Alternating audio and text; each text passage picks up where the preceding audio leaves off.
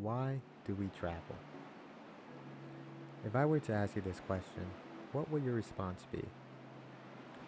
Is it to get away from work? Spend some quality time with the family? Or even just to get away from everything and be alone? Everyone has their own reason for traveling. I read a quote once that read, We travel not to escape life, but so life does not escape us. And I couldn't agree anymore. Over the lifespan of this page, I hope to inspire you to get out there and see the world. And to show you that traveling does not have to be that expensive. So hit that sub button and join me as we explore the world.